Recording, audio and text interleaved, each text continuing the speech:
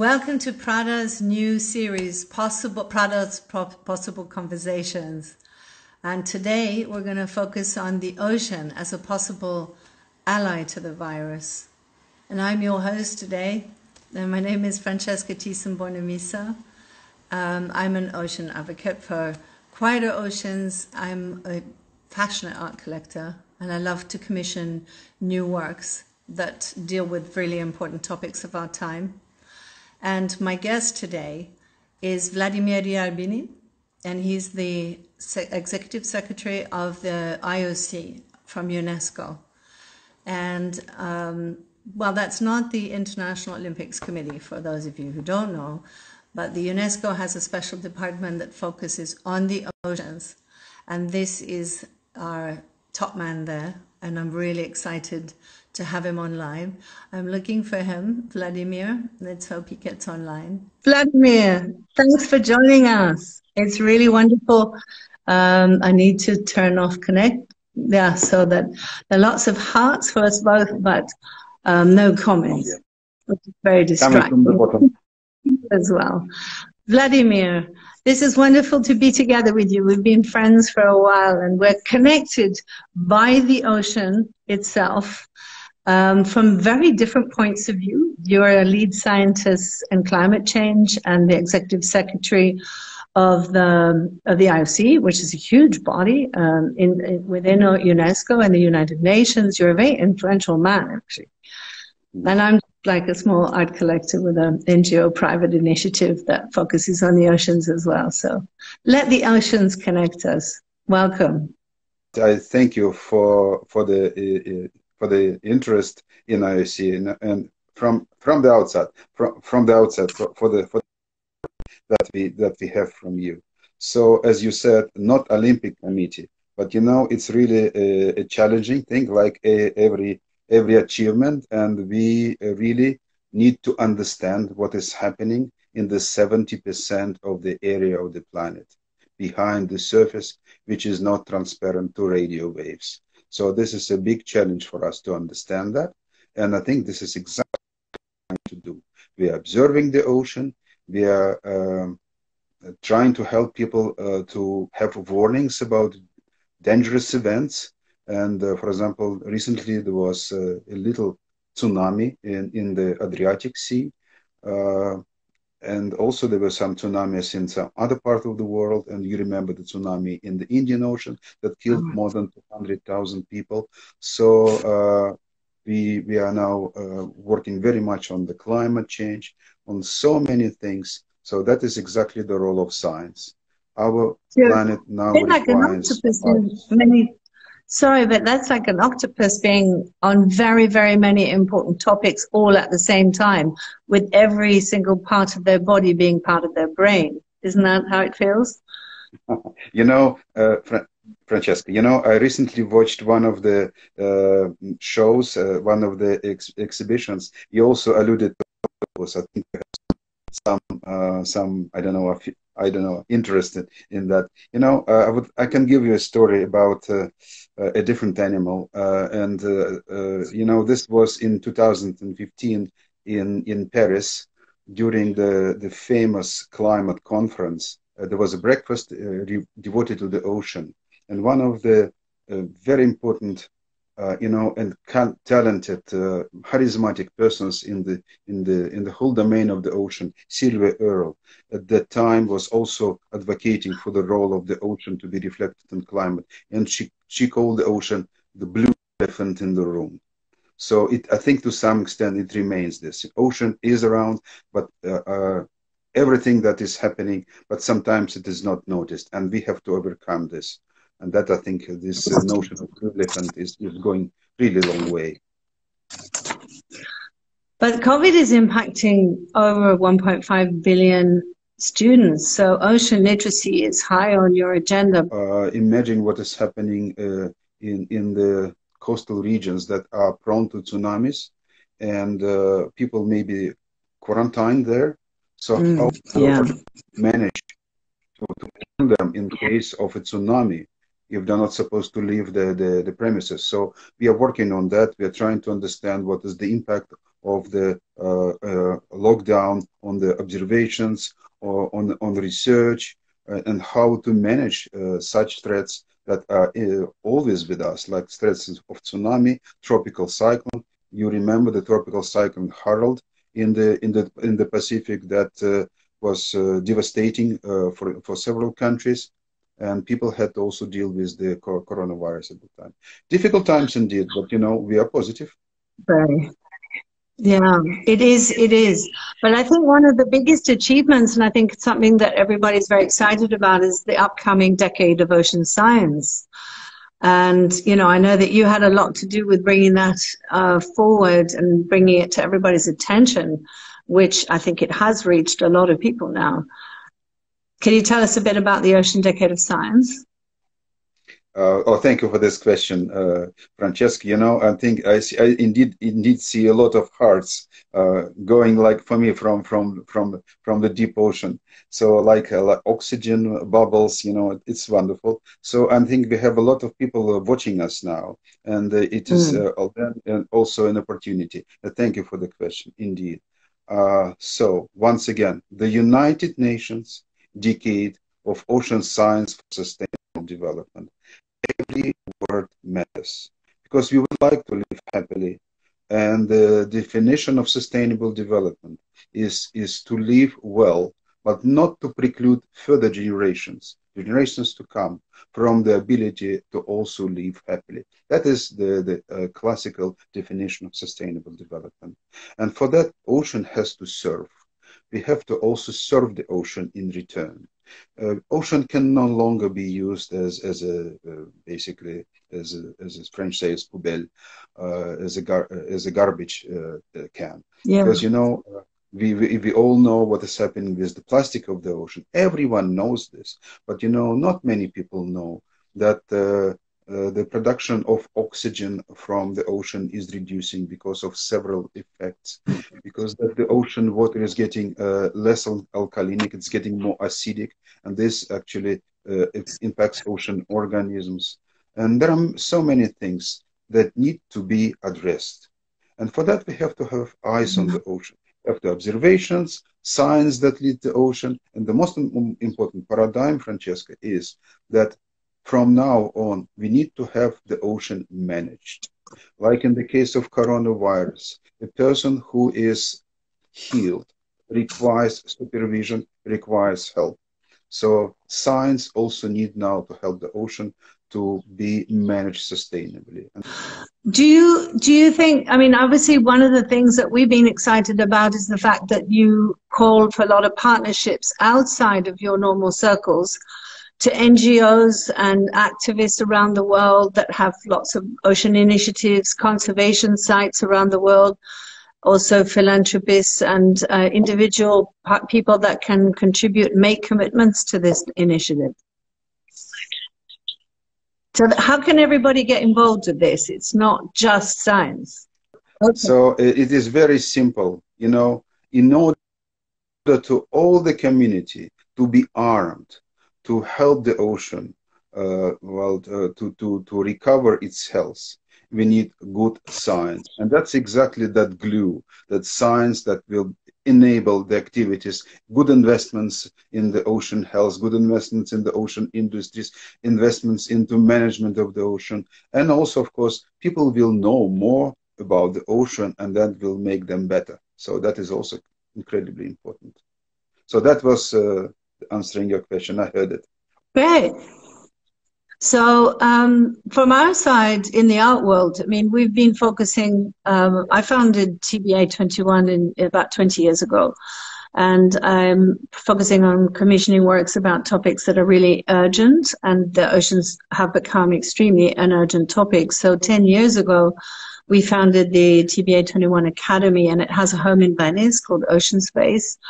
Uh, which speaks to a very big, a different audience than the one you speak to, because we commission artists and architects and musicians and composers to work together with scientists, opinion leaders, um, as well, legal experts, indigenous voices from all around the world to come together and to bring their savoir, their knowledge and use look at it through the lens of art and translate that into a different public and engage them also with a huge amount of research, a different type of research, but we call it artistic research.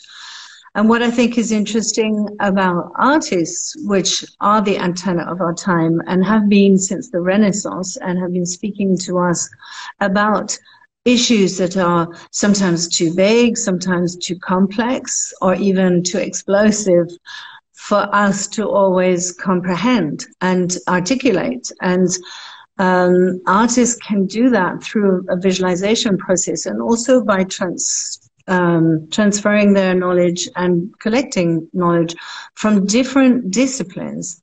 Because that always that seems to be the talk of today right? That that everybody's working in a specialization in their silos and somehow artists can bring these silos not together in a confused way but actually speak to that silence that actually exists in between those silos and um, communicate a very, very important message that people can really appreciate. And there being numerous entrance points. So from an aesthetic point of view, but also from deep knowledge. Um, for instance, the project that is now waiting in Venice to be opened, because of course, as we know, the pandemic has shut down every single cultural institution in Italy. Um, is called Oceans in Transformation, and it is designed by some architects called Territorial Agency, and their idea was to collect big data on the oceans. And you know more than anyone else how much data that represents. And for the outside world, it's incredibly difficult to understand, to comprehend. And so they visualize these ocean trajectories that, in a way, have made it possible for us to understand a complex mixture of things that are interrelated, such as climate change, but that obviously impacts then the sea level rise, but also the overfishing, the nuclear tests that were and have been, you know, 50 years ago to um, political borders and EEZ zones and many of these things that, you know, most people sit along on the beach and go, I think I can see forever when they can't. They can only see about five or six miles away. Um, but, you know, there are so many different things that are under the blanket of the surface of the ocean that we don't understand um, and that need to sort of come out in many, many different forms. And in a way, I think the art world gives shape and helps people feel what science helps us understand in a way. It's um, very important collaboration between the arts. And I think it's just been a while since the arts have had an opportunity to show how much they can actually contribute because often I go to those UN conferences and I see a big whale made out of secondhand flip-flops collected on beaches. And whilst that does carry a message, you will agree with me. It's a very simple message that needs to be told, but at the same time, the arts has a different function in our lives, don't you think? I know, know you're. You know, I, I, I, I, can also, I think I'm guessing now what you said, but uh, I, I, because I didn't hear you. But at the same time, uh, you know, we are kind of hard scientists. You know, we, we are in the worlds of integrals, you know, uh, equations, uh, also observations. But you know what resonates with people is is our emotions. So uh, in the San Lorenzo Church, you know, it made a very strong impact on me because, you know, I thought that, you know, it would be appealing to people, you know, it will be changing people. So in order to save the ocean, we need to change people. And there are an incredibly increasing amount of women that I think play a very vital role in ocean conservation these days. And one of them is uh, our head in, in uh, UNESCO, Francesca Santoro, who's charging, leading the charge with ocean uh, literacy program. But do you have a lot of women scientists also in the IOC program? In the ocean sciences, 38% of the of the workforce are women. And we have now more women that are working in than the other branches of science. And we will do more because this is one of our targets. 50-50 will be 50-50 soon. I've gone on to the comments and the questions that the people have written into because they're really good questions. And I just answered the one about the hardest challenges. And I thought about, you know, how people who are working um, very individually at the moment find community in their work, through their work. And um, I've heard rumors that actually some of the research scientists in the ocean field, at least, are really rejoicing because they're able to really get on with some very important work that they have um, on their cards, but are constantly rushing around giving talks and lectures. So they're actually being able to get on with their work. I think you're experiencing the same thing. Can you talk yeah. about that? You know, this this I wouldn't call it the hardest challenge in our lives, of course, but you know, uh, working from home uh, makes it possible, of course, to concentrate on things that are, are, are supposed to be done. And, and recently uh, finished three to four documents, an article. So we are working now uh, in such a way that we can really put uh, put pen to paper and, and, and complete something. But uh, I wouldn't call it a challenge. You know, we have to use this opportunity maybe to uh, you know collect thoughts and you know and reorganize a little bit. But the real challenge is is is different. For example, you know, we have to monitor climate in the ocean. These records have to be continuous and if we lose the continuity of this record, it will be a very bad thing for climate science. Mm. So that is, that is a challenge. Uh, so the challenge is how to, again, I, am returning to the issue of how to warn people about tsunami uh, in, in the conditions when they're, they're, they're confined. So there are some really big challenges. And what is also more important, our challenges are small in, in comparison with those people who really need to work uh, for for their for their lives, for their food. So th these are real challenges. So we are, I think, we are doing fine in comparing with those people. What is important that you know we have to have some empathy to those people, and that is that change. Uh, and also, I think the challenge is to teach people to have that empathy. That would be for me the most important thing. teach people about empathy. You can give them the sentiment. They can give them the inspiration to be emphatic and that is actually something I think the art world plays an important role in. But I would give you another example. For instance, one of our, our residency program is housed, is in the Alligator Head Foundation in Jamaica. Uh, in Portland, where we've actually instigated a six mile uh, conservation site. So it's a scientifically driven project. But of course, one of the main efforts that we make is to try and work with our community uh, because we've displaced a lot of fishermen, uh, their livelihoods. This is a very, you know, poor, poor area of Jamaica as well. And since the closure of the schools, and we're very in contact with the schools because we work a lot and closely with them in order to, to work on ocean literacy program delivered to us by UNESCO and, and one of our own making as well and uh, and to work with the artists that come on this residency as well. We know the schools, and the main issue is they have no access to food and even basic sanitation.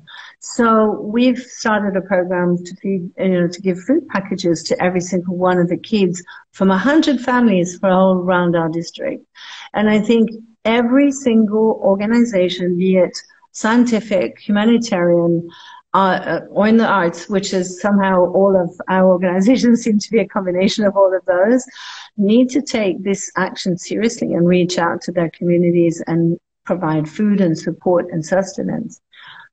You know, um, but one of one of the things we've got two minutes. One oh. of the things I need to do is make a big shout out to Italy because one of the one of the most moving and challenging evidence that culture is really at the heart of people and it's um, it's the hope is that what is the singing in the streets. Wasn't that absolutely amazing? Wasn't that proof that art and culture is really something fundamental to being able to deal with even the darkest times it's a real shout out and then you saw those dancers on their balconies in new york city and people singing together. And it was just so incredible. And it is really the ultimate proof, I think, that arts have the potential to change the world we live in. And I'm really convinced of that. And I think that the arts has a huge role to play in the coming months, years, um, into the sort of change that you and I really hope for. And I think everybody's hoping for. Um, that's it from us. Vladimir. Francesca, um, we need to just mention that Prada is donating generous amount of money for every single one of these Prada conversations possible conversations, sorry. Um, so that's really in addition to their partnership with UNESCO, and I think that's really amazing. I really want to thank UNESCO for, for being there, for always supporting us, for being our friends, um, although we're a little bit out on the arts loop, but I think we're getting closer together. And of course, I want to thank the TBA Academy team in Venice and um, the ocean space and all of those that work on our team tirelessly for the because we're really, really committed. So that's it from us. I if, if, I may, I would like uh, to to also thank Prada, to thank you, Francesca, for what you do for the ocean, uh, also for UNESCO and for IOC. And, you know, I would like to conclude from my part by quoting my famous compatriot, Fyodor Dostoevsky. Not actually him, but one of his personages that, uh, that said, it's the, the beauty that will save the world. So this is what you do. Thank you.